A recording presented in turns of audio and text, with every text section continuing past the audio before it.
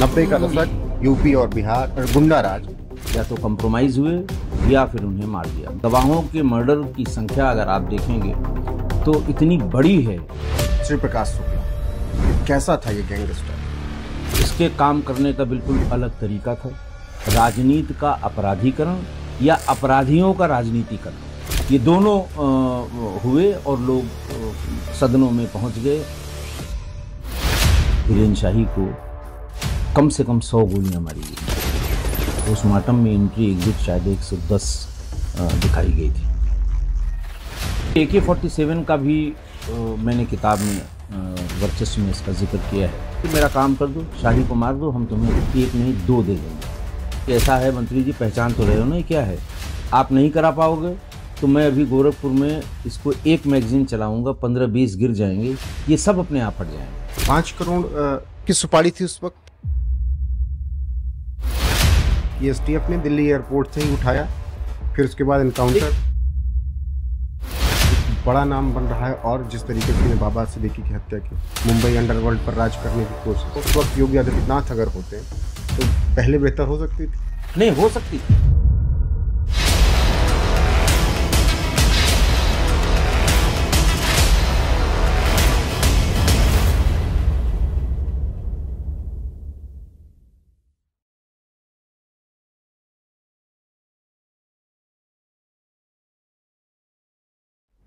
नमस्कार, स्वागत है आप सभी का एनवेफ न्यूज़ पर। मैं हूँ आपके साथ रोहित। नब्बे का दशक और उत्तर प्रदेश में गुंडा राज, माफिया राज और जिस तरीके से बाहुबलियों का कब्जा था, वो सब जानते हैं। राजनीति का अपराधीकरण भी खूब हुआ था। एक से बढ़कर एक डॉन पैदा हो गए थे। ऐसे में अब उन सबको लेकर आज एक ऐसी शख्सियत में बात करने जा रहा हूँ, जिन्होंने इन्हें बहुत करीब से देखा, उनके खिलाफ एक्शन लिया, ऐसे माफियाओं की कमर तोड़ी एसटीएफ जब बनी तो उसके फाउंडर मेंबर रहे श्री प्रकाश शुक्ला के एनकाउंटर में शामिल रहे। और नाम उनका है राजेश पांडे जी। बहुत बहुत स्वागत है सर आपका एनएफ न्यूज़ पर। बहुत बहुत धन्यवाद बहुत धन्यवाद। सर सबसे पहले सवाल जब आपका सिलसिला शुरू करूँ रिटायरमेंट की बात की ज़िंदगी चल कैसे रही थोड़ा ये बताइएगा। बहुत बढ़िया चल रही है। हम्म। आपको देख के भी लग रहा होगा कि रिटायरमेंट के बाद की ज़िंदगी बिल्कुल ठीक चल रही है। हम्म। मैंने बताया आपको कि मैं यूपीडा एक हमारे यहाँ अथॉरिटी है UP expressways industrial development authority जो एक्सप्रेसवेज जैसे आप जानते हैं कि हमारे माननीय मुख्यमंत्री जी उत्तर हम्म। प्रदेश को एक्सप्रेसवे प्रदेश कहते हैं हम्म। प्रधानमंत्री जी एक्सप्रेसवे प्रदेश कहते हैं उसका कारण ये है कि उस पहले जैसे लखनऊ आगरा फिर पूर्वांचल एक्सप्रेसवे फिर बुंदेलखंड एक्सप्रेसवे और अब गंगा एक्सप्रेसवे एक कोने से एक कोने तक जोड़ने के लिए एक्सप्रेसवे ये सब बनी और मैं इन सारी एक्सप्रेसवेज का नोडल अफसर हूँ यूपीडा में हम्म। एक तो वो है अपना जो जैसे पहले ऑफ़िस आना जाना ये हम्म। ऑफ़िस का काम सिक्योरिटी का बहुत ढेर सारा काम और जो पोस्ट एक्सीडेंट जितने मेजर्स होते हैं उन सबको कोऑर्डिनेट करना उनको देखना और एक कमेटी बनी है सुप्रीम कोर्ट की Supreme Court committee on road safety उसके तमाम मानक हैं उसके तमाम प्रोफार्मा हैं।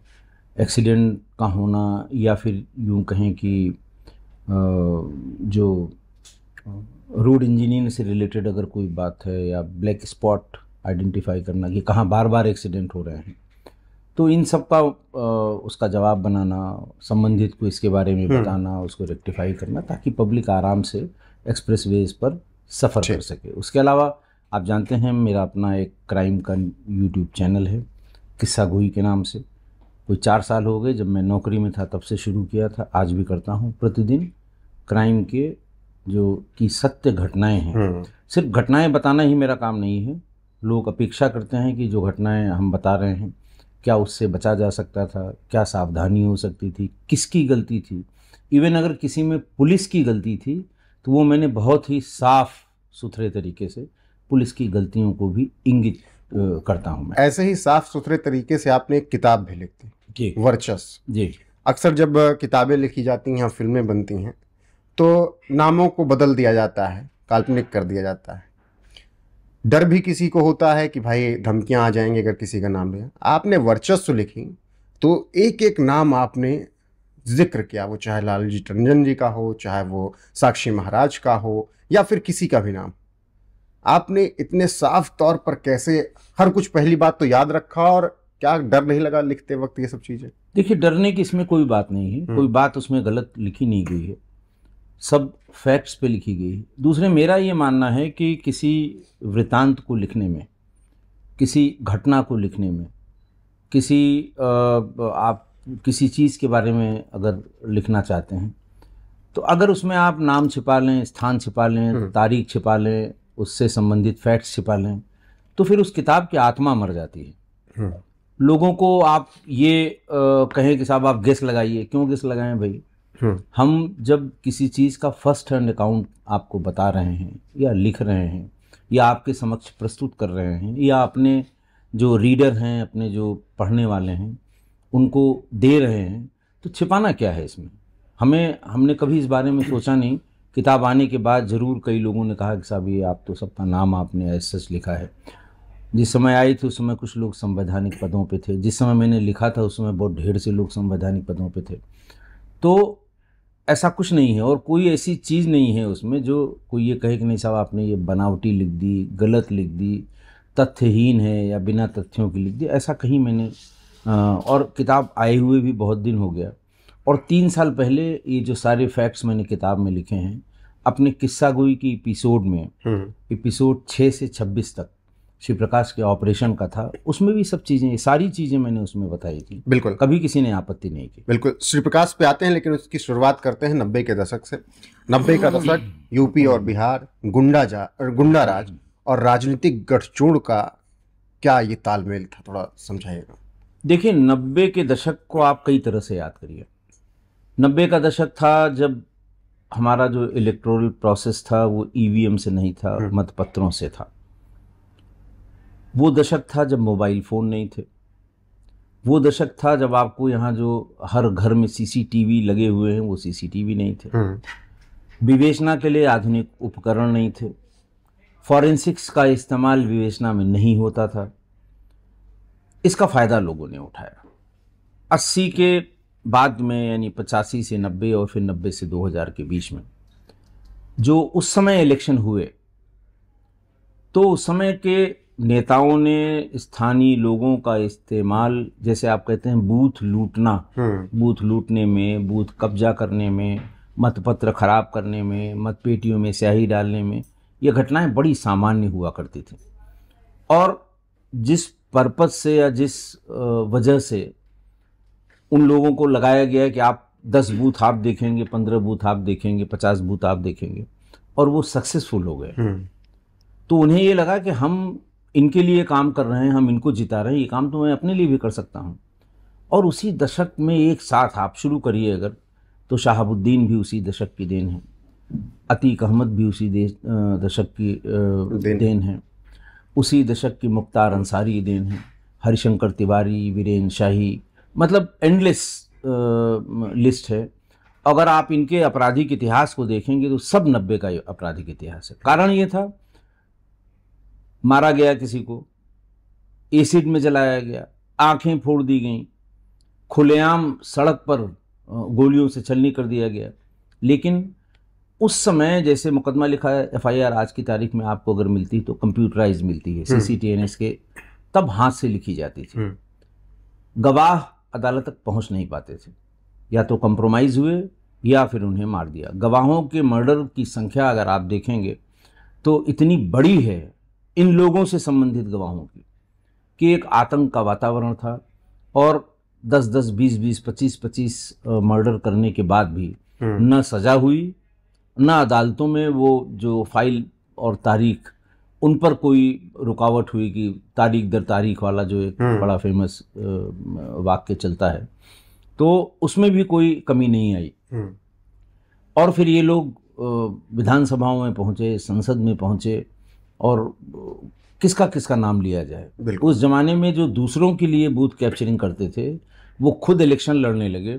तो ये वही दशक है जो जिसमें राजनीति का अपराधीकरण या अपराधियों का राजनीतिकरण।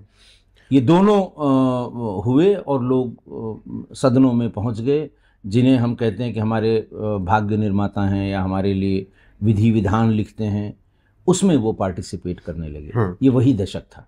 अ, अब आते हैं फिर अ, जिस पर वर्चस्व आई श्री प्रकाश शुक्ला। कैसा था ये गैंगस्टर? देखिए गैंगस्टर तो ये इसके काम करने का बिल्कुल अलग तरीका था। केवल तीन इसके पास हमेशा गैंग मेंबर तीन रहे। लोगों को धमका के और धमकी भी ऐसी इस तरह से देता था कि लोग घबरा के उसे पैसे दे देते थे या उसकी बात मान लेते थे। लेकिन उसके मन में भी राजनीतिक कीड़े थे। उसको ये लगता था कि ये सब करके एक दिन हम इलेक्शन लड़ेंगे और हम भी विधानसभा में पहुँचेंगे। जैसे बाकी नब्बे के दशक में लोगों ने किया था वही इसके हम्म, दिमाग में था। और उसने उस समय जैसे बड़ा क्रूर था वो बहुत क्रूर था। एक गोली में जो काम हो सकता है उसके लिए डेढ़ सौ दो सौ गोलियाँ मारता था। जैसे वीरेंद्र शाही एक बहुत बड़े पूर्वांचल हाँ पूर्वांचल के आपराधिक नेता थे। पूर्वांचल हरिशंकर तिवारी और वीरेंद्र शाही की जो दुश्मनी है वो जग ज़ाहिर जग ज़ाहिर पूर्वी उत्तर प्रदेश से शुरू होके अ, जातिगत आधार पर उत्तर प्रदेश बिहार और तमाम जगहों पर फैली और ब्राह्मणों और ठाकुरों का जो भेद है उसके बीच की जो गहरी लाइन है वो इन दोनों लोगों की पैदा की हुई थी। कहा यह भी जाता है कि तत्कालीन मुख्यमंत्री स्वर्गीय श्री वीर बहादुर सिंह जी ने जो गुंडा एक्ट विधानसभा में पास कराया आज भी चल रहा है बड़ा इफ़ेक्टिव है। हम्म, वो इन्हीं दोनों लोगों के गैंगों को कमज़ोर करने के लिए तोड़ने के लिए प्रभाव को कम करने के लिए गुंडा एक्ट वो ले आए थे। तो उनको जब मारा लखनऊ में तो आप समझिए दिन में ग्यारह बजे की बात है। हम्म, तीस मार्च का दिन था उस दिन रिज़ल्ट डे था। पास में एक स्कूल था जिसमें रिज़ल्ट लेने छोटे बच्चों का स्कूल था। दो ढाई सौ बच्चे दो ढाई सौ उनके पेरेंट्स हम्म, वो कोई अपना रिज़ल्ट लेने जा रहा था कोई रिज़ल्ट लेके वापस आ रहा था। और वहाँ बीच सड़क पर वीरेंद्र शाही को कम से कम सौ गोलियाँ मारी गई थी। पोस्टमार्टम में एंट्री एग्जिट शायद एक सौ दस दिखाई गई थी। और इतने लोग देख रहे थे पिस्टल से स्टेन से पैरों से उसको उसकी बॉडी को उलट के आँखों में पाँच बोले घूरता बहुत था। और कोई ऐसा नहीं था कि चोरी से कोई कह रहा है हम्म। चुपके से कह रहा है जल्दी में कर रहा है ऐसा कुछ नहीं। खूब इतमान से। खुलेआम। पाँच गोलियाँ बाई आँख में पाँच दाहिनी आँख में पाई। पाँच जो हैं पाँच या दस दाहिनी तरफ़ ये कन्फ्यूज़न हो गया कि हार्ट किधर है। तो दोनों तरफ़ सीने में दोनों तरफ़ गोलियाँ मारी गईं। तो इतनी निर्ममता पूर्वक वो हत्या करता था और उसकी हत्या करने के बाद हम्म, वीरेंद्र शाही की। फिर लोगों को लगा अरे वीरेंद्र शाही को भी मार सकता है क्योंकि बहुत नाम था उस समय हम्म। वीरेंद्र शाही का।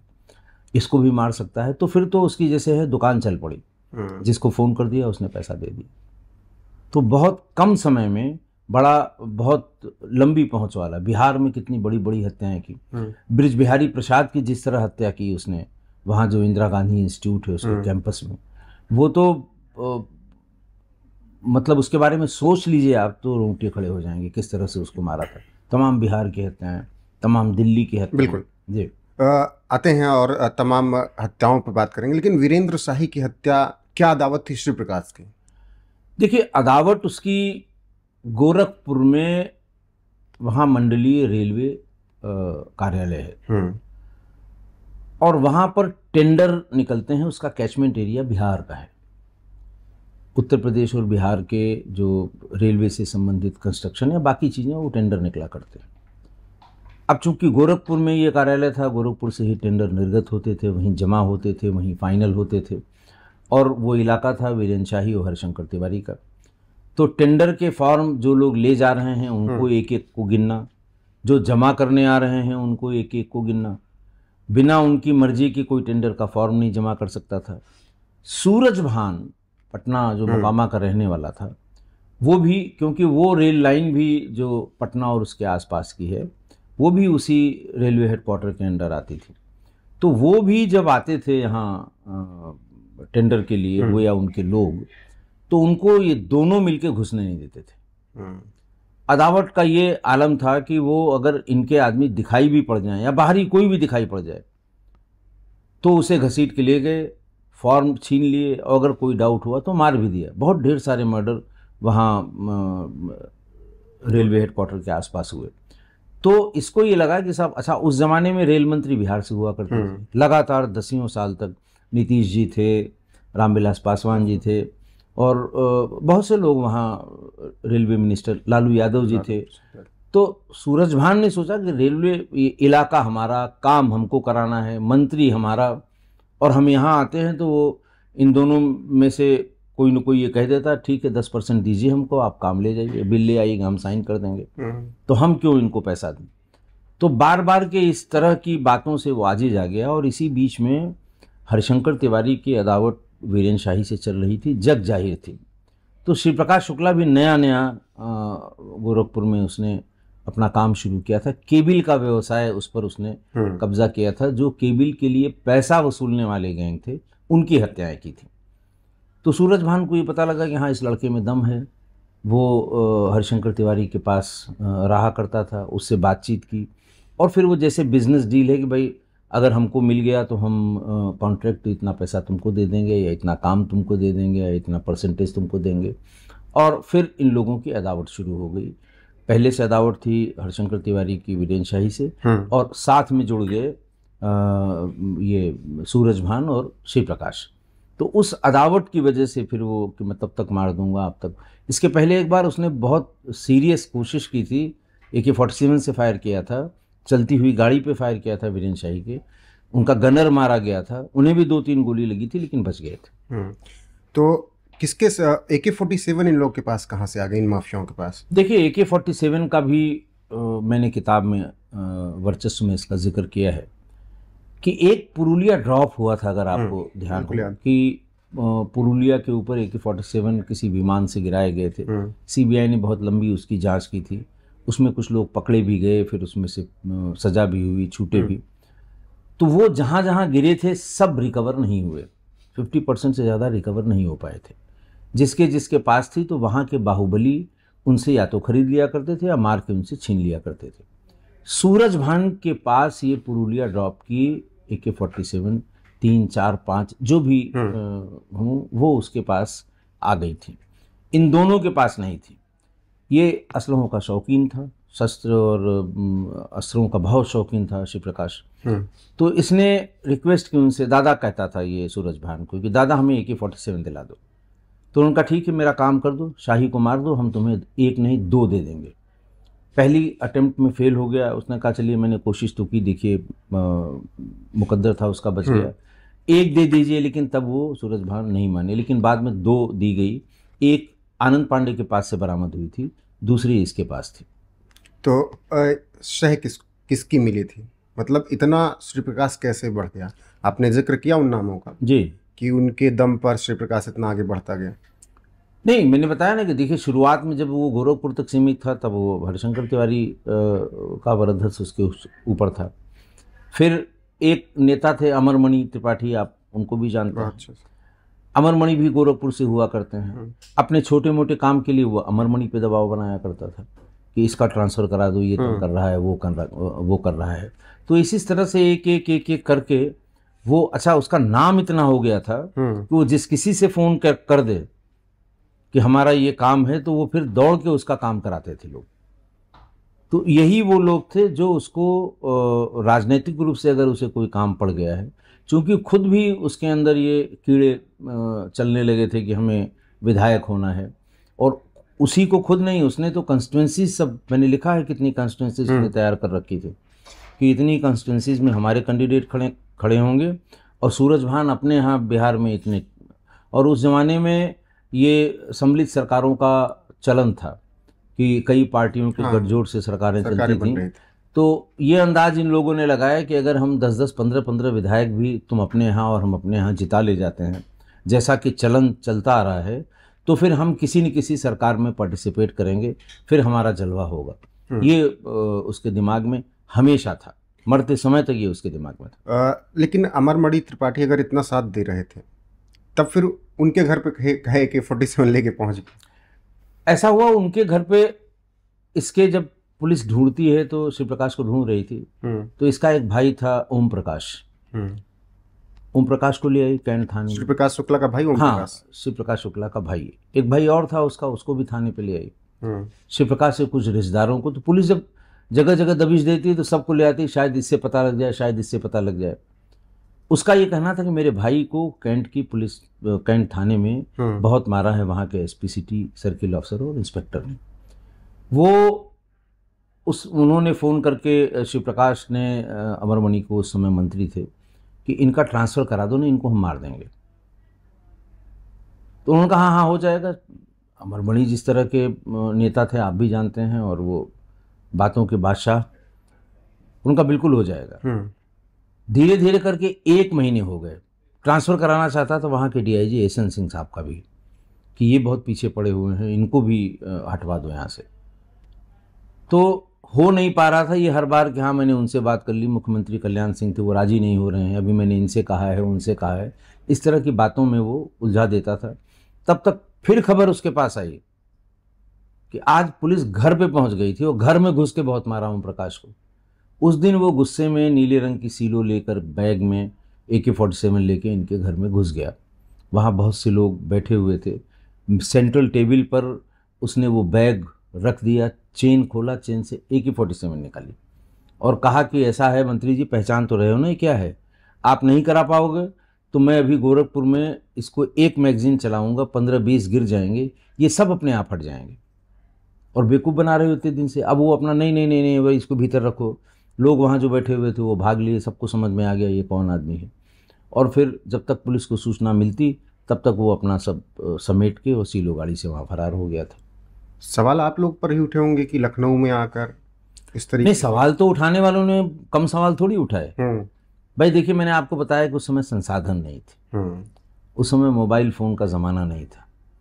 हमारे पास महिंद्रा की वही नीली जीपें हुआ करती थी। और जब एसटीएफ बनी थी तो पहली शर्त यही अजय राज शर्मा साहब ने रखी थी कि साहब हमें अच्छी गाड़ियाँ अगर न मिली क्योंकि तब तक बाज़ार में बहुत बाज़ार का बड़ा उन्नतीकरण हुआ था बाज़ार चढ़ रही थी बहुत और बड़ी अच्छी अच्छी गाड़ियाँ तेज़ गाड़ियाँ जो अपराधी इस्तेमाल करते थे वो गाड़ियाँ अपराधियों के पास अच्छी गाड़ियाँ थी हमारे पास सिर्फ़ जीप थी। बिल्कुल आएँगे एसटीएफ के बनने पर जी। लेकिन उससे पहले लखनऊ का हजरतगंज और आर के सिंह जो दरोगा हुआ करते थे उनका मर्डर। इतनी दहशत कि मतलब दरोगा को ही मार देना। देखिए ये एक घटना थी। हम्म, हम लोगों को जहाँ मैंने आपको बताया कि आज तो कहीं मुखबिर न रह गए हैं हम्म, ना आपके कांटेक्ट रह गए हैं ना इन्फॉर्मर रह गए हैं। आपको किसी के बारे में पता करना है सीडीआर उसकी निकाल लीजिए वो कहाँ गया किससे मिला किससे बात की कितनी देर बात की रात में किससे बात करता है दो बजे के बाद किससे बात करता है।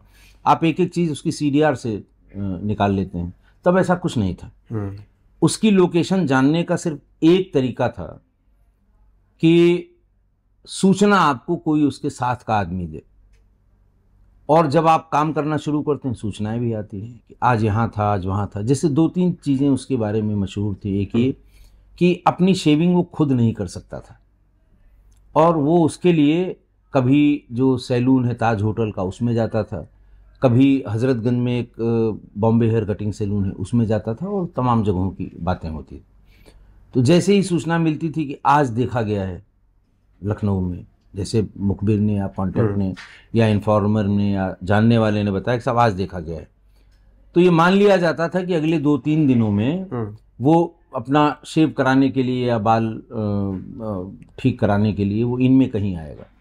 और उस दिन भी यही सूचना थी। मैं उस समय सीओ कैसरबाग था। सत्येंद्र वीर सिंह एसपी सिटी पश्चिमी थे। रणकेंद्र सिंह उनका गनर था। आर के सिंह उनके पेशकार थे एसपी सिटी के। एक ही बिल्डिंग में सीओ कैसरबाग और एसपी सिटी का ऑफ़िस हुआ करता था। हम्म, और अक्सर हम दोनों लोग यानी सत्येंद्रवीर सिंह साहब और मैं एक साथ ही कार्यालय में बैठते थे चाहे उनके कार्यालय में या हमारे कार्यालय में क्योंकि उस समय शिव प्रकाश को छोड़ के दूसरा कोई काम ही किसी के पास नहीं था इतना दबाव था।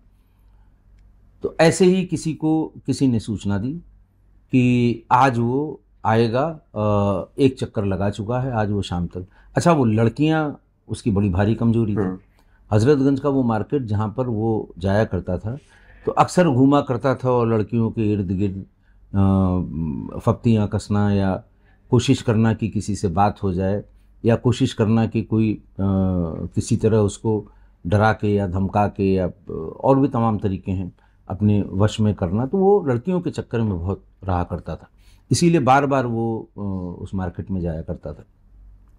ऐसे ही शाम को सब लोग बैठे हुए थे हम्म। और सब वर्दी में थे हम्म। तो वर्दी में हम लोग कभी इस तरह के ऑपरेशन में नहीं जाते थे तो वर्दी तुरंत निकाल के उसे सादे में हुए सब लोग एक छोटी गाड़ी थी सत्येंद्र सिंह साहब की अपनी गाड़ी थी मारुति गाड़ी थी उसमें हम लोग बैठे और ये तय हुआ कि देखो ए के फोर्टी सेवन वो हमेशा क्रिकेट वाले बैग में या बड़े बैग में रखता है हम्म। तो जो बैग वाले बड़े बैग वाले लोग दिखाई पड़ते थे उनको रोक रोक के हम लोग चेक करते थे कि इसमें क्या है इसलिए हम लोग वहाँ गए थे और इसी चेकिंग में वो ए के फोर्टी सेवन वाला बैग मिल गया जो अपराधी मारा गया था टूनिया राम था हम्म। मुकामा का ही रहने वाला था अ, सूरज भान का गैंग नंबर था वो तो वो था श्री प्रकाश था और सुधीर था ये सारे लोग थे और वो टूनिया राम था और सत्येंद्र वीर सिंह साहब ने रोका बैग टटोला उनको लग गया कि कुछ भारी सा लग रहा है ये हम्म। इसमें असला हो सकता है उन लोगों ने रजिस्ट किया फिर जब चेन खोल के ए के फोर्टी सेवन निकाली तो उसने झपट्टा मारने की कोशिश की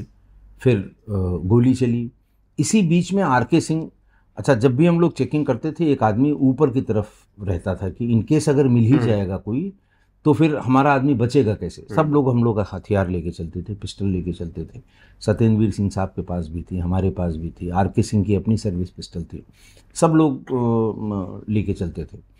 तो उन्होंने ऊंचाई से ये देखा कि एक आदमी से बैग छीनने में सत्येंद्र वीर सिंह और राजेश पांडे लगे हुए हैं हम्म। लेकिन आगे चल रहे तीन आदमी पीछे मुड़ के दारुल शफा जो विधायक निवास है हम्म। उसकी तरफ़ भागे हैं तो इस एंटिसिपेशन में कि शायद ये वही लोग होंगे वो हम लोग इसमें उलझे हुए थे अ, उसकी ए के फोर्टी सेवन निकाली फिर उसने कोशिश की फिर उसने जैसे ही उसके ट्रिगर पे हाथ लगाया और इस पूरे इंसिडेंट को कम से कम पाँच हज़ार आदमी देख रहा था। कम से कम शाम का समय था सात आठ बजे का। भरी बाज़ार थी हजरतगंज वैसे भी हम्म। हमेशा बिज़ी मार्केट रहती है। कम से कम पाँच हज़ार आदमी देख रहा था। तो उससे ये रस्साकसी चल रही थी कि उसकी उंगली ट्रिगर पे न जाए कि ज़्यादा नुकसान हो जाए। फिर उसमें गोली चली उसको। इस बीच में आर के सिंह ने उन तीनों का पीछा कर लिया। जनपद की मार्केट उसे कहते हैं। पीछे की तरफ़ वहाँ एक छोटा सा साइकिल स्टैंड पहले हुआ करता था। जिसकी बाउंड्री तार से बनी हुई थी। छोटे दो रो में तार लगा हुआ था। रात का समय था पीछे अंधेरा था। जैसे ही ये कूद के भागे हैं ये तीनों बैग सबके पास हम्म। था। तो इन्होंने भी आर के सिंह ने भी कूदने की कोशिश की लेकिन वो तार इनके पैरों में उलझ गया और वो नीचे गिर पड़े। और दारुल शफा के गेट में ये तीनों घुसे थे। जैसे ही ये नीचे गिरे इनके हाथ से पिस्टल छिटक गई आर के सिंह के। वो वापस लौटे। और फिर पिस्टल को उसकी डोरी से, कॉर्ड से उसको तोड़ा और उसकी कनपट्टी पर रख के नौ गोलियाँ मारी थी। और नया नया मंत्रिमंडल बना था, दारुल शफा के तीनों फ्लोर पे जो विधायक मंत्री बने थे, उनकी सुरक्षा में तैनात संतरी ड्यूटी वाले सिपाही सब राइफल लिए हुए खड़े थे और सबने देखा था किसी ने रिटेलिएट नहीं किया, फिर उसके बाद जो है वो तो फिर किससे कहानियों में है। कहते हैं फ़ोटो भी छोड़ के जाता था अपनी। नहीं वो फ़ोटो छोड़ के नहीं जाता था। फ़ोटो देखिए सबसे पहले तो जो हुज्जत हुई जो सबसे पहले आ, हम लोगों का जो टारगेट था क्योंकि मैंने आपको बताया अखबार लिखने से बाज नहीं आते थे। हम्म। वो लिखते थे कि साहब ये रिजेक्टेड ऑफिसर्स की एक फौज एस बनाई गई है ये इसके बस का नहीं है। इस तरह का अखबार का काम है लिखना। और उसका कारण देते थे साहब बताइए इतने महीने हो गए एस के बने हुए और अभी तक इनके पास फ़ोटो भी नहीं है। या इतने दिनों से ये लोग पीछा कर रहे हैं ये ये इंसिडेंट लखनऊ में ही हो चुके विवेक श्रीवास्तव वहाँ का हम्म। प्रदेश का सबसे बड़ा लॉटरी व्यवसायी था उसको लाटूस रोड पे दिन में पचासों गोली मारी गई थी। एक तो व्यापारी उससे बहुत नाराज़ था। ये शाही का हो ही गया था तो ये लोगों ने कहा साहब फ़ोटो इनके पास नहीं है आज तक ये फ़ोटो नहीं ले पाए तो ये आगे क्या करेंगे? तो ये बहुत दबाव था कि बात तो सही है। हम्म। कि हम उसकी फ़ोटो जहाँ जहाँ जाइए फ़ोटो का नाम लेते ही लोग बिदक जाते थे हम्म। तब ये पता लगा कि उसने कहा है कि अगर फ़ोटो किसी ने भी हमारी दे दी या हमें पता लग गया और मारा भी उसने एक फोटोग्राफर को वहाँ गोल बाज़ार या गोल मार्केट जो गोरखपुर में है वहाँ एक फोटोग्राफर की हत्या की थी उसने इस शक पे कि किसी तिलक या शादी के कार्यक्रम में कोई जो इसका हम्म। वीडियो बना था उससे फ़ोटो मांगी गई है उसने निकाल के देने का वादा किया है। बिल्कुल। आएँगे कि वो फ़ोटो जो खूब वायरल होती है वो कहाँ से आई उस पर चर्चा करेंगे लेकिन अब जिस तरीके से ये मर्डर उसके लगातार राजेश जी बढ़ते जा रहे थे इतनी उसकी उसका मन बढ़ गया कि फिर सीएम तक की सुपाड़ी ले डाली। अब देखिए जो आदमी जब सक्सेसफुल होना शुरू होता वो अपराध में उसको हम्म। सक्सेस मिलती गई। हम्म। जो टारगेट बनाए चिल्लाया अखबार वो रोज़ देखता था तो जब उसको सक्सेस किसी को भी मिलती है तो उसका मन तो बढ़ता है। मन बढ़ हो गया। और फिर लोग अपने काम के लिए उससे संपर्क भी करने लगे। ब्रह्मदत्त द्विवेदी जी की हत्या हुई थी। बड़े राइवल थे वो हम्म। कल्याण सिंह जी के। उस समय के बहुत बड़े टावरिंग नेता हुआ करते थे। मुख्यमंत्री पद के लिए उनका नाम चल रहा था। ऐसे में उनकी हत्या हो गई। उनका परिवार भी राजनीति में था। उनका बेटा उनकी श्रीमती जी सब हम्म। राजनीति में थे। ऐसा कहा जाता है कि उन लोगों ने संपर्क किया शिव प्रकाश से कि हमारे पिताजी की हत्या का बदला लेना है। हम्म। और उन लोगों का मानना ये था उस समय जो सर्कुलेशन में जो बात चलती थी या जो अफवाह चलती थी कि कल्याण सिंह की वजह से ब्रह्मदत्त द्विवेदी की क्योंकि एक ही इलाके से ये लोग आते थे उनकी वजह से ये हत्या हुई है जिन लोगों ने भी की है। तो फिर ये कहते हैं कि कल्याण सिंह की सुपारी ली। सुना हम लोगों ने भी था हम्म। लेकिन आधिकारिक रूप से अजरा शर्मा साहब ने अपनी किताब। बाइटिंग द बुलेट में इस बात का ज़िक्र किया कि क्यों उनको सीतापुर के एक ट्रेनिंग सेंटर से कल्याण सिंह ने बुलाया। हम्म। फिर उनसे कहा कि मेरे मारने की सुपारी ली गई है। वो भी हतप्रभ रह गए। अजयरा शर्मा साहब भी बहुत ही फ़ील्ड के प्रैक्टिकल आदमी थे। तो उन्होंने कहा नहीं मैं आपको जो बता रहा हूँ वो बहुत यकीन से बता रहा हूँ। और इसके लिए एक यूनिट को बनाना है। आपकी मैं पोस्टिंग कर रहा हूँ। दोबारा as A D G law and order एक अपनी टीम बनाइए और और इसके आतंक को ख़त्म करिए। हम्म। और मेरी जो सूचना है वो बिल्कुल सही है। ऐसा बाइटिंग द बुलेट में जरा शर्मा साहब ने लिखा है। तो मान के ये हम लोग चल रहे हैं कि शायद ये साक्षी महाराज को टारगेट करने वाली बात रही हम्म। होगी। कि शिव प्रकाश से कहा गया होगा या उसकी जानकारी में लाया गया होगा साक्षी महाराज की वजह से ऐसा हुआ है। हम्म। चूँकि साक्षी महाराज और स्वर्गीय कल्याण सिंह जी ये सजातीय थे और बड़े निकट भी थे एक हम्म। दूसरे के तो ये कहा गया कि साक्षी महाराज को मारने की सुपारी को साक्षी महाराज ने या जिस किसी ने भी कहा हो कि साहब आपके मारने की सुपारी ली गई है और ये बात फिर चलन में आ गई। हम्म। ये बात हुई थी। पाँच करोड़ की सुपारी थी उस वक्त? पैसे का ज़िक्र तो उसमें उन्होंने नहीं किया है हम्म। अजय राज शर्मा साहब ने। अब जो आप जानते हैं उस समय अखबार का ही ज़ोर था ना तो आपके यूट्यूब चैनल थे हम्म। ना कोई वैसे चैनल थे नून चार पाँच चैनल थे न्यूज़ के। तो उसमें जो बातें आती थी वो इसी तरह की बातें आती थी। अच्छा इतना क्राइम ग्राफ था उसका लगातार आप लोगों ने मुखबरी के आधार पर उसको ट्रेस भी किया। इतने लंबे वक्त तक पकड़ा क्यों नहीं गया? मैंने बताया ना कि एक तो कम संख्या। हम्म, तीन लोगों आपने केवल तीन ही आदमी वो रखता था। कोई उसके शुरुआत में जो उसके गैंग में रहे हो एक तो आनंद पांडे? देखिए आनंद पांडे सुधीर त्रिपाठी और हम्म, ये। बाद में जब आनंद पांडे से अलग हो गया तो अनुज सिंह उस अनुज सिंह और राजन हाँ, तिवारी हाँ। थोड़े दिन। राजन तिवारी ने ऑपरेट नहीं किया यूपी अच्छा। के किसी उसमें। राजन तिवारी का अपना बिहार में उनका हम्म। काम था। बिहार में चूँकि राजन तिवारी एसोसिएटेड था सूरज भान से तो इन लोगों की मुलाकात ज़रूर होती होगी लेकिन एज ए गैंग इन्हीं तीनों लोगों ने ही काम इसीलिए पकड़ा नहीं जाता। इसलिए एक तो तीन लोग थे खबर निकलनी मुश्किल होती थी। हम्म, दूसरा कि भय इतना हो गया था कि लोग सूचना देने से कतराते थे कि कहाँ गया है कहाँ से निकला है कहाँ आएगा किस शादी में आना है। इसी तरह की सूचनाएँ मुखबिर दिया करते थे और उस ज़माने में डकैतों के खिलाफ जितने भी ऑपरेशन हुए वो मुखबिरों से ही हुए। हम्म, तो इसलिए थोड़ी सी मुश्किल हुई हालाँकि बहुत दिन ये नहीं चला। उसकी कुल अपराध में कुल आयु उसकी पाँच ही साल रही। हम्म, लेकिन पाँच साल में ही उसने इतने बड़े बड़े अपराध कर दिए कि आज कि- तक ज़िक्र हो रहा है कि आज तक इतने साल बाद भी सोचिए अट्ठानवे में उस उसको न्यूट्रलाइज किया गया था। और आज भी हम आप यहाँ बैठे हैं इस पॉडकास्ट में उसकी इस विधा पर ज़िक्र कर रहे हैं कि कैसे इतना बढ़ गया क्यों नहीं पकड़ा गया क्यों नहीं पुलिस ने अ, जल्दी उसको पकड़ा। तो कई कारण थे। मैंने आपको बताया एक कारण ये भी था वो बहुत अच्छी गाड़ियों का इस्तेमाल करता था। हम्म, हमारे पास महिंद्रा की जीप थी बहुत तमाम कारण हथियार हाँ, अच्छे, हथियार अच्छे। लोग कम हाँ तो ये तो ये ये कारण था। तो फिर यही ज़रूरत पड़ी कि एसटीएफ का गठन करना पड़ा। तब ये ज़रूरत पड़ी। फिर वो अजरा शर्मा साहब ने कहा कि ठीक है हम अपनी शर्तों पर उन्होंने कहा हम अधिकारी इसमें कौन रहेंगे अधिकारी और कर्मचारी हम डिसाइड करेंगे। पैंतीस साल से कम उम्र के ही अधिकारी कर्मचारी रखेंगे। हमें दस टाटा सुमो की व्यवस्था की जाए दस टाटा सुमो हमें मिलेगी तभी हम इनको चेज़ कर पाएँगे वरना हम इनको चेज़ नहीं कर पाएँगे। इस तरह की बातें उन्होंने हम्म, बताई और हमें अलग हमारी सारी व्यवस्था जो है वो अलग की जाए। जैसे ऑफ़िस हमारा अलग हो काम करने का तरीका हमारा अलग हो इस तरह से हम्म, कि हम बहुत जो मेन मेन स्ट्रीम में जो पुलिस करती है हम्म, अगर हम वैसा करेंगे तो हमारी खबरें बाहर जाएँगी हम इनफेक्टिव हो जाएँगे तो वो सब बातें मानी गई और उसका एक टाइम बाउंड प्रोग्राम निकाला गया कि फ़लाँ तारीख से इसके लिए ऑफ़िस ढूंढ लिया जाएगा फ़लाँ तक इसको इस्टेब्लिश कर लिया जाएगा फ़लाँ तारीख तक इसमें जो भी लोगों को रिक्रूट करना है रिक्रूट कर लिया जाएगा और समय सिर्फ़ छः महीने का।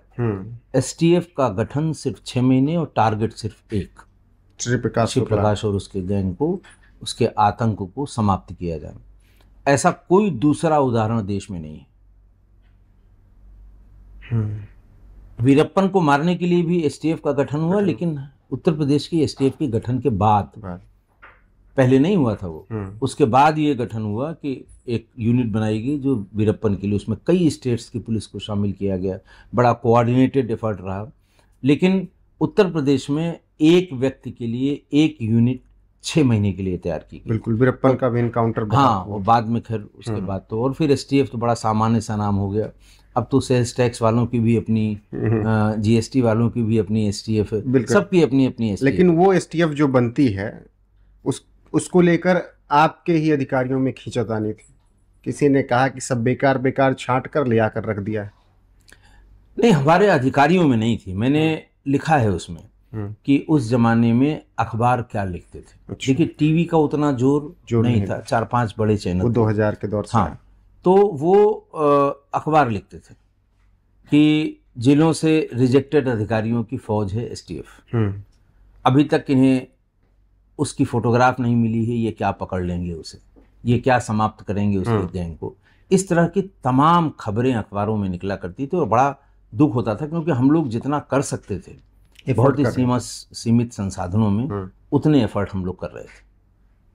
तो फिर जब आपके पास वो फ़ोटो कहाँ से है आप लोगों के पास? जो श्री प्रकाश की हाँ फ़ोटो का बड़ा किस्सा है। फ़ोटो के बारे में मैंने लिखा भी है कि हुआ कुछ यूँ कि जब ये फ़ोटो के लिए बार बार छपने लगा अधिकारी भी पूछने लगे कि भाई आखिर तुम लोग जो तुमने कहा वो दिया गया आज तक तुम्हें फ़ोटो नहीं मिली? हम्म, सब खाली जैसे डांटने का तरीका होता है कि खाली आप कमरे में से ऑपरेट कर रहे हैं फ़ील्ड में निकलते नहीं हैं लोगों से मिलेंगे नहीं तो कैसे मिलेगा इस तरह की बातें। हम्म, तो फिर ये हुआ सब लोगों ने बैठ के तय किया कि पहले फ़ोटो ही इसकी निकाली जाए। हम्म, कहाँ कहाँ हो सकती है?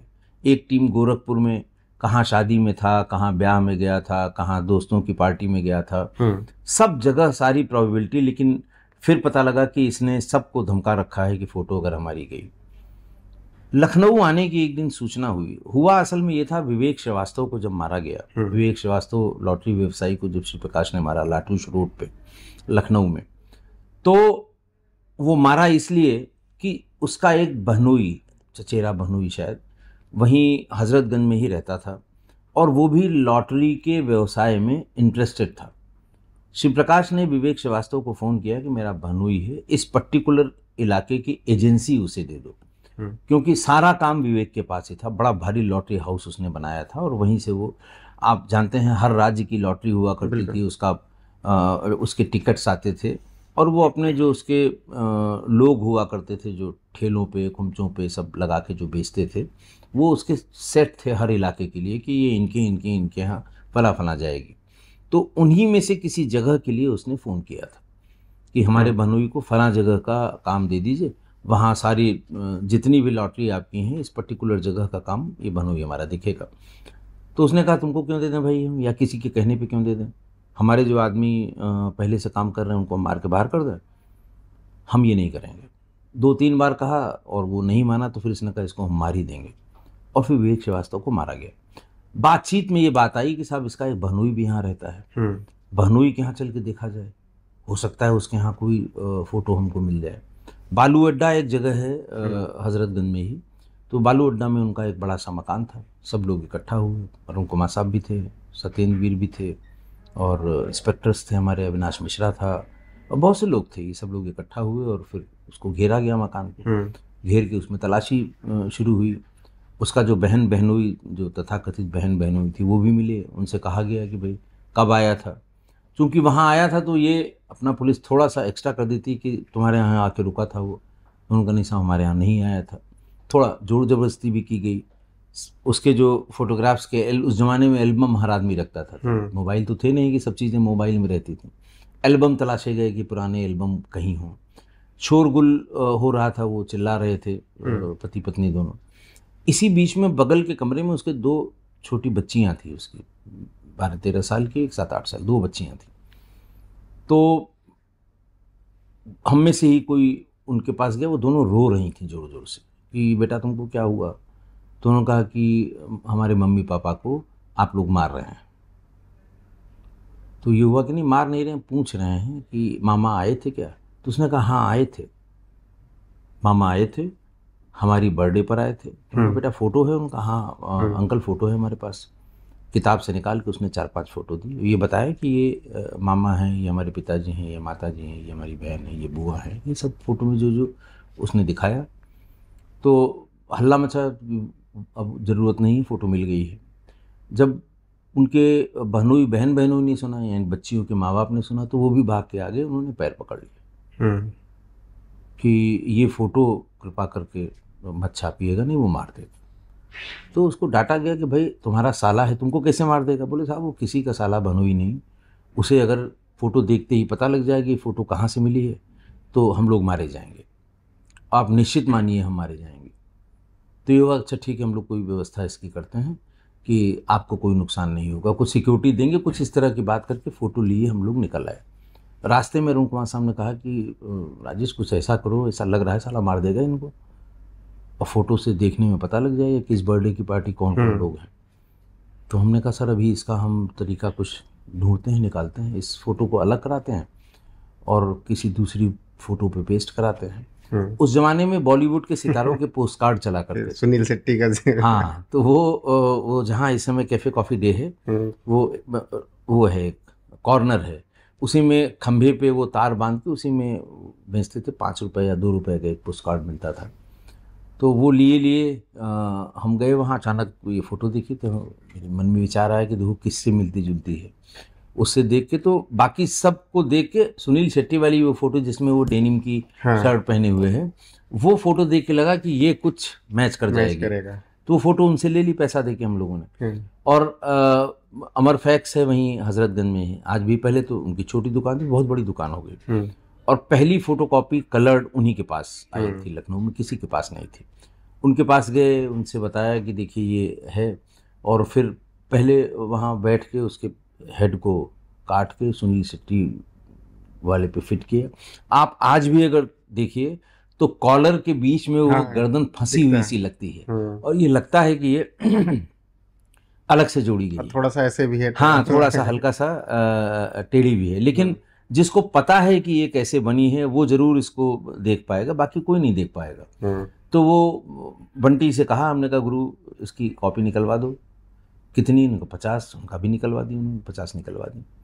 और उसकी कॉपी पोस्ट कार्ड साइज़ की बना के हम्म। और अरुण कुमार साहब को अरुण कुमार साहब ने तुरंत प्रेस बुलाई और कहा भाई आप लोग फ़ोटो फ़ोटो चिल्ला रहे थे ये फ़ोटो आ गई है। और फ़ोटो बढ़ गई। हम्म। अगले दिन सारे अखबारों में टीवी में सब नाम तो उसका हो ही गया था। तो सब जगह शिव प्रकाश शुक्ला की फ़ोटो फ़ोटो छप। और वही एकमात्र फ़ोटो थी। हम्म। आज तक भी वही एकमात्र फ़ोटो है। बाकी कुछ फोटोग्राफ उसके गाँव से या घर से लोग अ, लाके वो वो अभी हाल का डेवलपमेंट है। पहले तो अच्छा। सिर्फ़ वही एक फ़ोटो थी और उसी फ़ोटो पर फिर और फिर वो सबके पास कि सब लोग देख लीजिए सामने कहीं पड़ जाए तो कोशिश करिए कि ये हुलिया है। सिपाही भी फिर मांगने लगते हैं साहब हमको भी दे दीजिए सब लोग। और जब आर के सिंह की हत्या को। की हत्या हुई तो उनकी जेब में भी फ़ोटो थी। और संभाव ये बात हल्ला हो गई कि साहब देखिए आर के सिंह की जेब में फ़ोटो थी वो मारे गए। हम्म। उसको पता लग गया था कि फ़ोटो लेके घूमता है। तो चुपचाप लोगों ने वो फ़ोटो भी अपने पास से हटा दी। हमारे ही पुलिस वालों ने। हाँ, कि ऐसा ना हो ये पता लग जाए कि ये हम उसकी फ़ोटो लिए घूम रहे हैं हम ही मारे जाएँ। ये दहशत का उस समय ये माहौल था उस जमाने में। बिल्कुल तो श्री प्रकाश की जो फ़ोटो है उसमें गला उसका है बाकी जी, सुनील सेठी का है ये लोग आप समझ लीजिए। अब आता है कट टू इंदिरापुरम। हाँ। श्री प्रकाश का एनकाउंटर जी। वो दिन क्या हुआ था? कैसे आप लोगों वो दिन देखिए हम लोग कई दिन से वहाँ थे। मैंने इसमें बहुत पूरा डिटेल लिखा है कि तब तक हम लोगों को हमारे पास तो पैरेलल पे सुनने की सुविधा नहीं थी लेकिन हम्म। दिल्ली पुलिस के पास थी।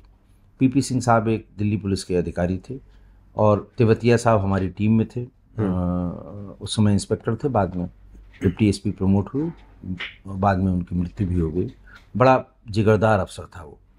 पीपी सिंह से उन्होंने बात की और कहा कि साहब हमें ये नंबर है इस नंबर से किसी के पास फ़ोन आया था कि ये नंबर है इसको हमें पैरल पे अगर सुनाया जा सके। तो खैर उन्होंने सबसे बात की अरुण कुमार साहब ने कमिश्नर पुलिस से बात की सबसे बात करके एक नंबर वहाँ हम लोग सुनने लगे। लखनऊ में ये सुविधा नहीं थी दिल्ली में ये सुविधा थी कि नंबर हम्म। पैरेलल लिसनिंग पे सुना जाए। बिल्कुल शुरुआत ही हुई थी हम्म, पैरेलल लिसनिंग की या सर्विलांस की। तो वो नंबर सुने जाने लगे वो बार बार सिम बदलता था।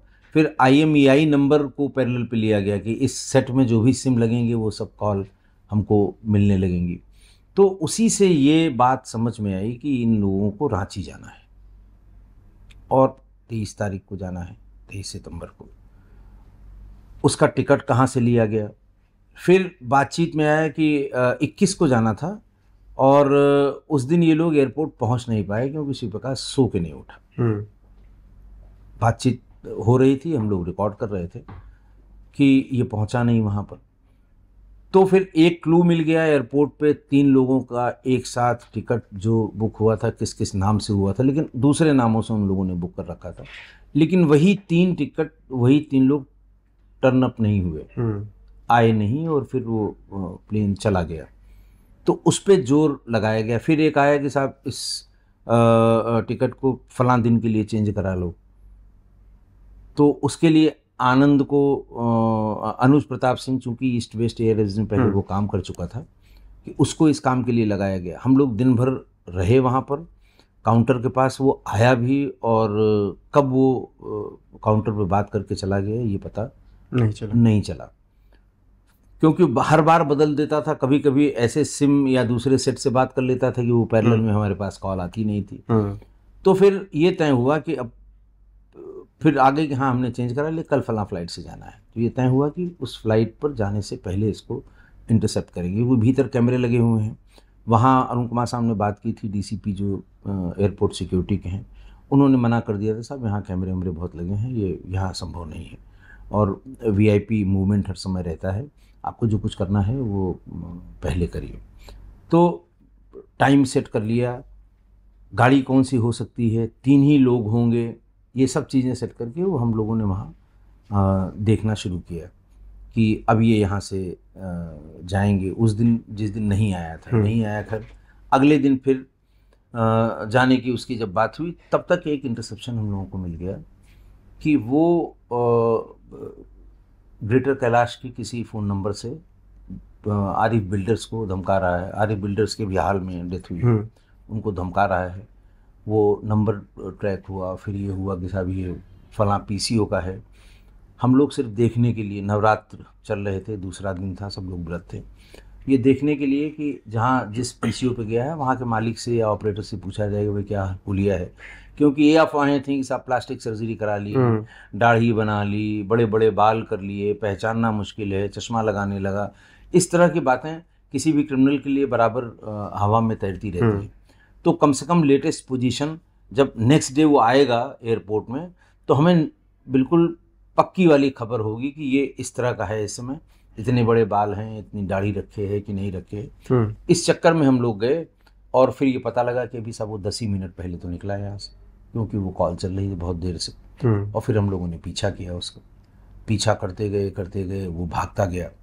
फिर वो जब गाज़ियाबाद में इंदिरापुरम की तरफ़ अब लगता तो ये है कि दिल्ली की सड़कों का उसे अंदाज़ा था गाज़ियाबाद की सड़कों का अंदाज़ा नहीं था। हम्म, इंदिरापुरम में ऐसी जगह पे जहाँ पे आगे रास्ता ही नहीं था। फिर वहाँ पर उसको भी लगा कि अब हम घिर गए हैं। उसने अपनी तरफ़ से फायर किया हम लोगों ने अपनी तरफ़ से फायर ये हुआ था। इंदिरापुरम में लड़की से ही मिलने आया था? हैं? लड़की से ही मिलने आया था इंदिरापुरम में? नहीं नहीं उस समय तो भाग रहा था। इंदिरापुरम में लड़की वाला मामला नहीं था। ना ना वहाँ वहाँ। अच्छा कई बातें इनकाउंटर पर ये भी हुई जी। कि एसटीएफ ने दिल्ली एयरपोर्ट से ही उठाया फिर उसके बाद इनकाउंटर कहने वाले तो देखिए ऐसा नहीं कहने वाले तो कहेंगे। हम्म, कौन सा अपराधी है जो इनकाउंटर में मारा गया और सब लोगों ने मान लिया कि नहीं नहीं सब बड़ी बहादुरी का काम किया पुलिस? ऐसा नहीं होता है। हम्म, लोकतंत्र है सबको अपनी बात कहने का अधिकार है ऐसा कुछ नहीं हुआ था। हम्म। और दूसरे ऐसा हुआ होता उसमें तमाम जांचें हुई अब तो इतने साल हो गए अब किसी की ज़ुबान पे आप ताला नहीं लगा सकते। जिसकी जो मर्ज़ी है वो कहता है वो कहता रहेगा। हम्म, कल भी कह रहा था आज भी कह रहा है कल भी कहेगा। लेकिन एक आतताई का अंत हुआ था। बिल्कुल। और जो कुछ भी हुआ था वो बिल्कुल शब्दशः उसी सीक्वेंस में उसे लिखा भी गया। उसकी प्रॉपर एफआईआर है उसकी मजिस्ट्रियल जाँच हुई है सब कुछ हुआ है। अच्छा इस इनकाउंटर से पहले उसका फ़ोन जब आपके पास आया था आपको भी धमकाया था? हाँ हाँ सब अरे धमकाने का तो उसका कोई किसको नहीं धमकाया उसने फ़ोन करके? आपसे क्या बात हुई? हमसे वो वही कह रहा था कि आप मेरे पीछे क्यों पड़े हुए हैं? हम्म, और फिर वही जो वो कुंडली निकाला करता था कि तुम इतने बजे गए थे तुम्हारी बेटी फलां स्कूल में जाती है तुम्हारा बेटा फलां स्कूल में जाता है और हम भी पीछे पीछे रहते हैं। तब तक हम लोगों को ये जानकारी हो गई थी कि ये ऐसा इमोशनली ब्लैकमेल करता है उस आदमी को कि उसको लगता है कि वाकई ये मेरे पीछे पीछे था मुझे गोली मार देता। ऐसा वो एक कुंडली निकालने का एक जानकारी निकालने का एक तरीका वो कहता था कुंडली निकालो। हम्म, सारे ग्रह निकालो इसके। और ऐसे लड़कों को लगाता था जिनके पास कोई रिवॉल्वर पिस्टल नहीं है प्रॉपर उनके पास गाड़ी के कागजात हैं। कहीं उनका कोई क्रिमिनल हिस्ट्री नहीं है। सुबह फ़ोन कर दिया कि फला हैं लाला इनका ज़रा सा। हम्म, शाम तक हमको कुंडली निकाल के बता दो। लड़के भी सब सेट थे। कुंडली निकालने का मतलब कि सुबह कितने बजे निकले कितने बजे दुकान पे पहुँचे दुकान पे किससे किससे मिले दोपहर में कहाँ चले गए। हम्म, शाम को ताला बंद करके आए तो फिर कहाँ पान खाया कहाँ सिगरेट पी कहाँ कोल्ड ड्रिंक पिया और कितने बजे वहाँ पहुँचे क्या पहने हुए थे ड्राइवर क्या पहना हुआ था। जो जो मिलने आए थे अगर कोई पहचान वाला है तो क्या उसका नाम तो पता था? आपने जवाब क्या दिया? नहीं हमने भाई उसने हमने कहा कि भाई तुम हम्म। सरेंडर क्यों नहीं कर देते? हम्म, हम लोग उस समय उस समय ये रिकॉर्डिंग की कोई मोबाइल पे तो ये फ़ोन आते नहीं थे फ़ोन लैंडलाइन लैंडलाइन पे आते थे। और लैंडलाइन में एक रिकॉर्डिंग की किट आया करती थी हम्म, सौ या सवा सौ रुपये की। कि आप उसको पैरेलल में अपने टेप रिकॉर्ड में जोड़ दीजिए बड़े वाले कैसेट वाले में। और आप बात करते रहिए दोनों तरफ़ की बातें उसमें रिकॉर्ड मैंने रिकॉर्ड भी किया था उसको। सभी लोग ये हिदायत थी कि सब लोग अपने अपने फ़ोन इस तरह के हाँ उसको रिकॉर्ड करेंगे और शेयर करेंगे। तो उससे कहा गया कि भाई तुम सरेंडर कर दो। हम्म, काहे तुम असल में उसका पीछा एक बार किया था हम लोगों ने और पीछा किया तो अंदाज से था हम्म, लेकिन वो वाकई उस गाड़ी में था। हम्म, तो उसी बात को वो कहने के लिए कि तुम ऐसे नहीं मानोगे धमकी देने वाली बातें और तुमने उसका हश्र नहीं देखा उसका हश्र नहीं देखा। मैं ये किस्सा कहानी बंद करो। तुम मेरे नंबर पे फ़ोन कर रहे हो तुम अ, तुम्हें पता है हम कहाँ हैं। या तो तुम टाइम बता दो हम रुके रहते हैं। हम्म। आओ हो जाए दो दो हाथ। और या फिर तुम जगह बताओ हम आ जाएँगे। भाई ऐसा है ना कि जब उसको हम जानते थे कि या हमारी पूरी टीम जानती थी कि ये बातों का शेर है। हम्म, और टारगेट जब ये फिक्स करता है तो ज़रूर कोई ना कोई उसमें या तो कोई पैसा इन्वॉल्व होगा या और दूसरी कोई बात होगी। हम्म, तो कहने में थोड़ी कोई हर्ष था। तो फिर बहुत देर तक ये बात चलती रही बल्कि ये सवेरे की बात है। बाद में कॉल ट्रेस हुई थी नेपाल से की गई बात थी नेपाल के पीसीओ से। और उस समय बच्चे हमारे बहुत छोटे थे। और स्पीकर फ़ोन ऑन करके तब बातचीत करते थे ताकि कोई कन्फ्यूज़न हम्म। हो दोबारा अगर हम सुने उसको तो। तो वो अ, फिर गाली गलौज हुई। भाई कोई गाली देगा आपको तो आप भी रिटेलिएट करेंगे। तो जितनी गाली वो दे रहा था उसकी गाली भी दी गई। खूब कस के गालियाँ दी गई। फिर उसने बच्चों ने सुना उसको बच्चे उठ गए सहम गए डर गए क्या बात हो रही है कैसे बात कर रहे हैं। हम्म, तो ये सब हुआ था उस समय। फिर वो कैसेट लेके हम गए वो पूरी बातचीत अरुण कुमार साहब को सत्येंद्र सिंह साहब को बताई गई कि सब ये ये बात हुई है। ठीक। नंबर उसका निकाला गया। तो ये तो होता है धमकी तो उसने किसको नहीं दी। मैंने एक एक आदमी का ज़िक्र किया है किताब में बिल्कुल। किसको धमकी दी थी। आखिरी सवाल श्री प्रकाश से जुड़ा हुआ। जी। लालजी टंडन जी वाला मामला क्या था कि तीन महीने वो अस्पताल में भर्ती हो गए उसके डर से? वो वही है देखिए लालजी टंडन जी लालजी टंडन साहब वो बहुत ज़मीन से जुड़े हुए नेता थे लखनऊ में कि बहुत ही मशहूर शख्सियत थे। दूसरी बात ये थी कि वो स्वर्गीय अटल बिहारी वाजपेयी जी के बहुत करीबी करीबी थे थे। बहुत करीबी थे। और नगर विकास मंत्री थे। नगर विकास विभाग से यानी नगर निगम से किन्हीं दो बाबुओं के ट्रांसफ़र की बात उसने ये बन के कही थी कि मैं फला ज़िले का जिलाध्यक्ष बोल रहा हूँ। हम्म, ऐसे वो तो बात करते नहीं। आ गए तो फिर वो अपने अपने पे आ गया कि मैं शिव प्रकाश बोल रहा हूँ इतने दिन से मैंने कहा है तुमने ये नहीं किया वो नहीं किया। और देखना मैं घुस के मारूँगा तुम्हें। हम्म, कितनी सिक्योरिटी रखोगे? तो वो बेचारे शरीफ आदमी उनका न क्राइम से कोई लेना देना न कभी उन्होंने पैरवी किसी इस तरह के क्रिमिनल्स की कभी मतलब मैं बहुत लंबे समय लखनऊ में तैनात रहा सी ओ हजरतगंज रहा सी ओ कैसरबाग रहा एस पी सिटी रहा हम्म, एसएसपी रहा वहाँ लेकिन कभी टंडन लालजी टंडन साहब ने कभी अपराध के सिलसिले में कोई पैरवी किसा भी एक फा, फाइनल रिपोर्ट लगा दी कभी उन्होंने नहीं कहा था। शरीफ आदमी उनको लगा कि पता नहीं और चुपचाप वो के जी एम सी में भर्ती हो गए प्राइवेट वार्ड में रहे तीन चार महीने। कि कम से कम उससे एक बचत रहेगी कि हमको बाहर निकलना हमारा हम्म, अ, बंद हो जाएगा। नहीं तो कार्यकर्ता है हमारे हमारे वोटर हैं वो किसी शादी में बुलाएँगे किसी उसमें बुलाएँगे हमें जाना पड़ेगा। हम्म, इसलिए। बिल्कुल। अब आते हैं इस वक्त के मामले पर। एक नाम इस वक्त खूब चल रहा है लॉरेंस बिश्नोई जी। जब से बाबा सिद्दीकी की हत्या हुई लगातार ज़िम्मेदारी ली आपको लगता है कि लॉरेंस बिश्नोई एक बड़ा नाम बन रहा है और जिस तरीके से उसने बाबा सिद्दीकी की हत्या की मुंबई अंडरवर्ल्ड पर राज करने की कोशिश। देखिए आपने जितना सुना है उतना हमने भी सुना है। दस साल से वो जेल में है ये भी बताया गया है कि उसने कभी जमानत के लिए अप्लाई नहीं किया। हम्म, कुछ सिमिलरिटीज हैं। लेकिन आप लोगों को थोड़ा क्रिमिनल की मानसिकता पता होगी। हाँ नहीं नहीं कुछ सिमिलरिटीज हैं जो मैं पॉइंट आउट करना चाहूँगा उत्तर प्रदेश के परिप्रेक्ष्य में। हम्म, देखिए मुंबई अंडरवर्ल्ड में क्या हो रहा है ये अ, सब जानते हैं। ये भी जानते हैं कि पिछले दस बारह पंद्रह सालों से मुंबई अंडरवर्ल्ड का वो जो पहले का अंडरवर्ल्ड की जो एक्टिविटी थी वो लगभग खत्म हो गई। हम्म। कुछ तो आपस में लड़कट के मर गए कुछ पुलिस ने मार दिए। हम्म, और फिर नए नए जो गैजेट्स इलेक्ट्रॉनिक गैजेट्स आए उससे अब उनको ट्रैक करना अकाउंट फॉर करना बहुत आसान हो गया तो वो एक्टिविटी अब बंद हो गई थी। हम्म, दो घटनाएँ और हुई हैं उत्तर प्रदेश में। एक अतीक और अशरफ को लाइव यानी तमाम वहाँ पर प्रेस वाले थे लाइव करने वाले कैमरे थे वो जो हाथ में उसका आप आईडी लगाते हैं वो थे। और इसी बीच में तीन लोग आए और गोलियों से उन्हें भून दिया और लाइव सब पूरे देश ने देखा। हम्म, उनके पास पिस्टल बरामद हुई जिगाना। हम्म, ये टर्किश पिस्टल है। बहुत महँगी है ब्लैक मार्केट में इसका इसकी कीमत सात लाख आठ लाख रुपए है। और उन तीनों की माली हालत जोड़ दीजिए अगर तो भी वो पाँच लाख से ऊपर नहीं है। हम्म, सवाल ये है कि जगाना पिस्टल इनके पास आई कहाँ से?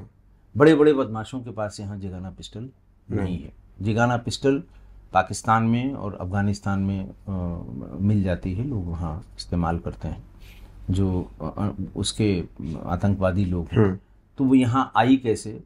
और ऐसे लोगों के पास तक कैसे पहुँची? क्योंकि एक आध को छोड़ को जिनका चोरी वोरी का है बाकी कोई क्रिमिनल इतिहास भी इन तीनों का नहीं है जो पकड़े गए। हम्म, दूसरा दूसरी घटना हुई जीवा संजीव माहेश्वरी जीवा कोर्ट में मार दिया हाँ जिसको कोर्ट में मारा गया।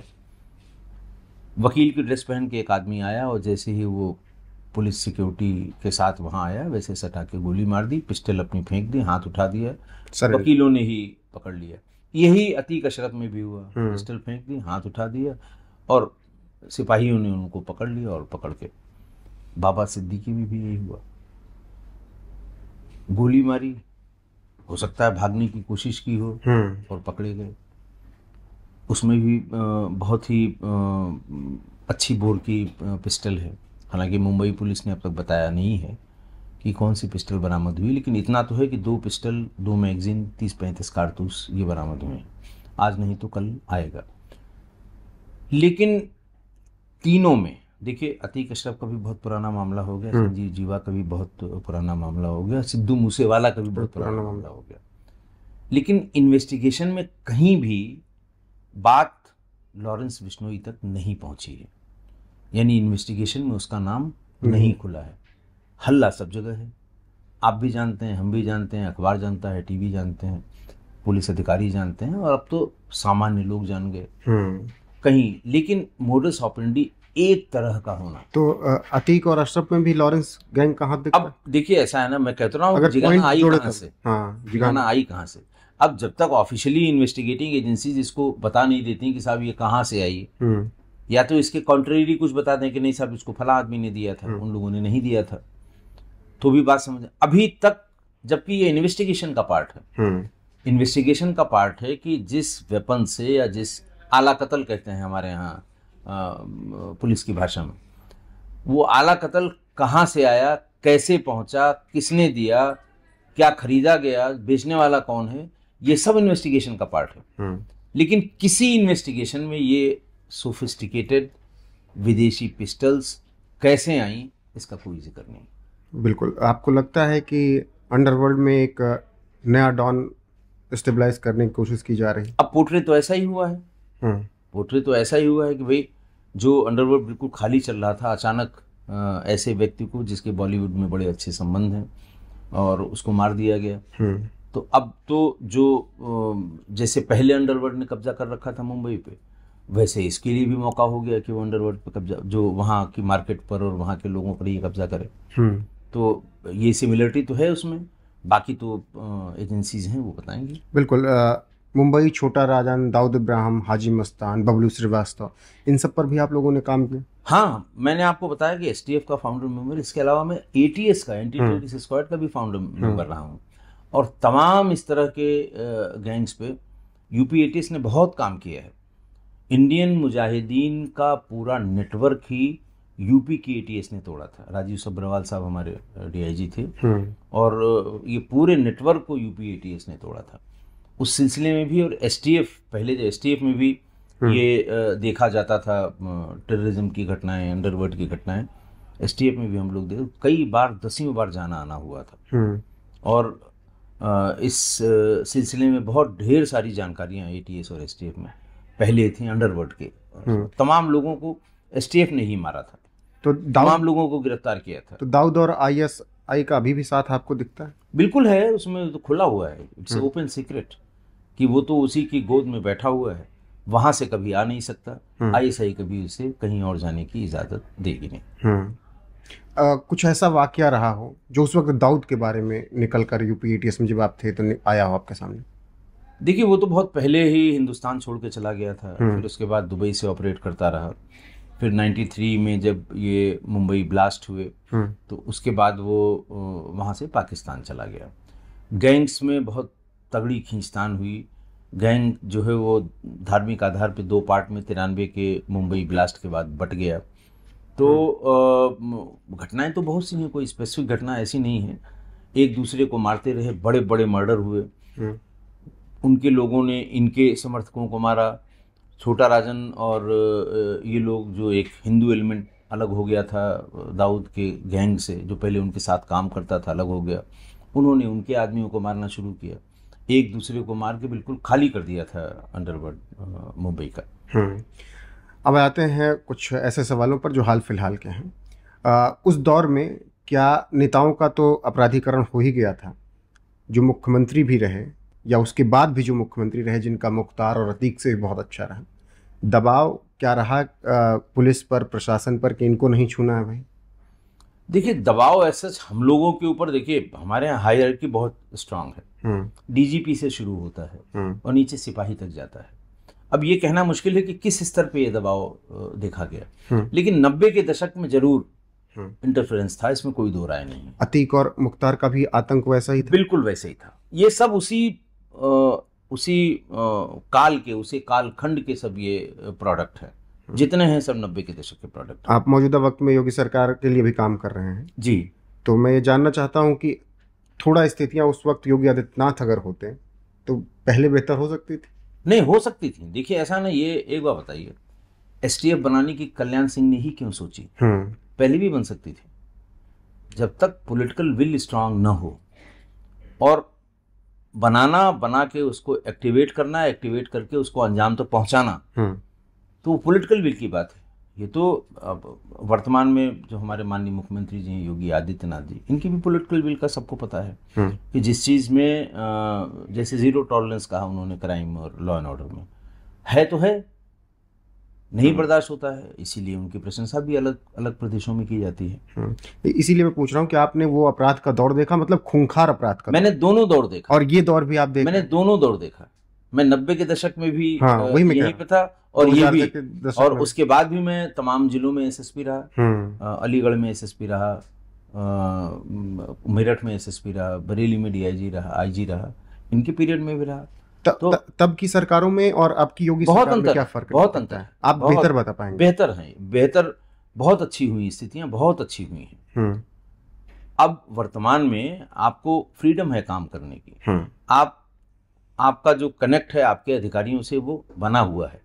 आप अपनी बात फ्रीली अपने अधिकारियों को सही है गलत है करेंगे नहीं करेंगे आप उनको बता सकते हैं उसका फीडबैक ले सकते हैं। हम्म। आखिरी सवाल आप एसटीएफ के फाउंडिंग मेंबर रहे इस वक्त यूपी एसटीएफ के चीफ अमिताभ यस का बहुत ज़िक्र होता है जब से बहराइच में वो पिस्तल लेके उठ रहे हैं। जी। तमाम आरोप लगे कि इस तरीके से अगर डराया जाएगा पुलिस की तरफ़ तरफ़ से तब तो जनता में खौफ पैदा हो जाएगा पुलिस पर विश्वास नहीं रहेगा। नहीं। पिस्तल लेके नहीं उतरनी चाहिए पिस्टल लेके। नहीं नहीं नहीं देखिए ये एक पहलू आप देख रहे हैं। दूसरा पहलू तो ये भी देखिए ना कि किसी का तो खौफ हो कानून का खौफ हो। पुलिस का खौफ तो मैं नहीं कहूँगा लेकिन कानून का खौफ तो होना चाहिए आदमी हम्म। को। पुलिस खड़ी हुई है आप पत्थरबाजी कर रहे हैं। हम्म। पुलिस खड़ी हुई है कट्टे से फायर हो रहे हैं। तो ये खौफ दिखाना भी पड़ेगा बताना भी पड़ेगा। हम्म। हमें नहीं लगता उन्होंने कुछ गलत किया। और अगर सरकार ने आपको कोई शस्त्र दिया हुआ है तो वो शोपीस नहीं है। हम्म। सामने से गोली चल रही हो पत्थर चल रहा हो कुछ चल रहा हो तो जवाब नहीं देगा कोई। बिल्कुल। अपनी आत्मरक्षा नहीं करेगा। बिल्कुल किया जो उन्होंने किया बिल्कुल सही किया। चलिए। अब ये बताइए सबसे पहले सर रिटायरमेंट हो गया। आपने शुरुआत में बता दिया क्या लाइफ चल रही है।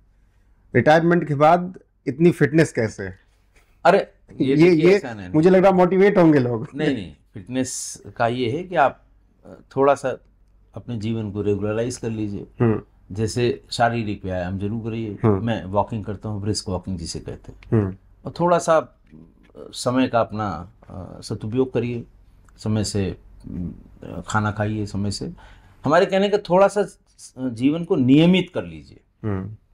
और जो कहते हैं ना एक्स्ट्रा फैट को बर्न करिए। एक्स्ट्रा फैट जो भी है उसको बर्न करिए। बिल्कुल फिट रहेंगे। तनाव मत लीजिए।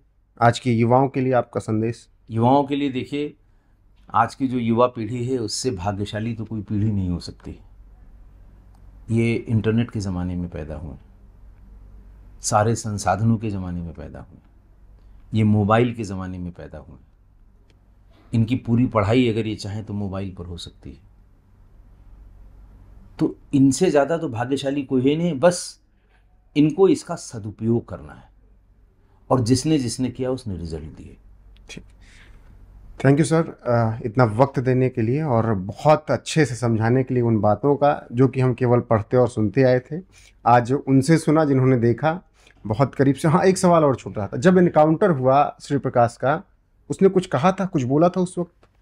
नहीं ऐसा तो कितनी दूर से हुआ था इनकाउंटर नहीं वो भाग रहा था हम लोग भी भाग रहे थे फायर करता जा रहा था हम लोग भी फायर कर रहे थे। हम्म ऐसा कुछ बोलने वाली बात ऐसा कुछ नहीं था।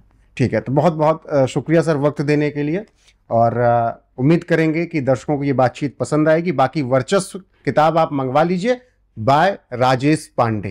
तो जाकर किताब मंगवाकर आप पढ़ सकते हैं और ये इंटरव्यू देखने के बाद आपकी राय क्या है कमेंट में ज़रूर बताइए। सर का यूट्यूब चैनल, वहाँ पर किस्सा गोई भी आप जाकर सुन सकते हैं। बाकी एनएफ न्यूज़ पर तो आपको लगातार खबरें भी मिलती रहेंगी और अब सर के तमाम कहानी और किस्से यहाँ पर आगे आपको मिलते रहेंगे। तो फ़िलहाल सर जुड़ने के लिए वक्त देने के लिए बहुत बहुत बहुत धन्यवाद आपका बहुत अब आप दर्शकों की बारी है कि चर्चा कैसी लगी कमेंट में अपनी राय ज़रूर बताएँ और बने रहें हमारे साथ। नमस्कार।